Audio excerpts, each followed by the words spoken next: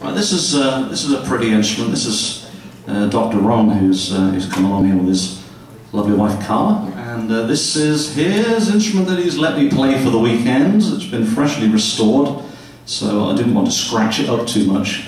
So I've been uh, been very very careful with it.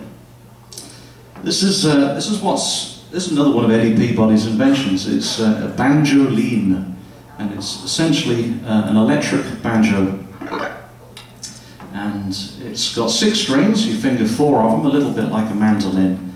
The third and the fourth are doubled up, the third is a monotone.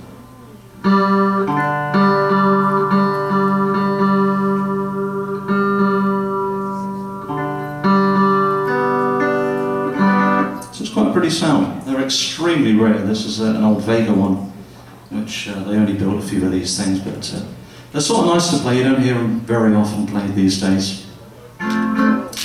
And uh, I, being a banjo player, I, I travel around a lot and I'm sort of very fortunate to have a wonderful job that I love. I absolutely love playing banjo and entertaining and I go out and uh, people say, well, what's that funny instrument? Um, can you play any heavy metal?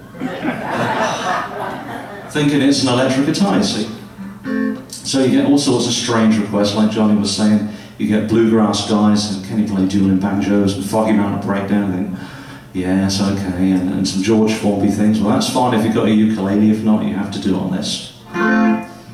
One of the requests I had was a lady said, "Can you play some Glenn Miller music?" Now, Johnny did the fast ones, and I thought, well, uh, okay. I, I, thought about it, and yes, I can play Glenn Miller music, and this is one that he played in the '40s, which is a pretty one called "The Moonlight Serenade."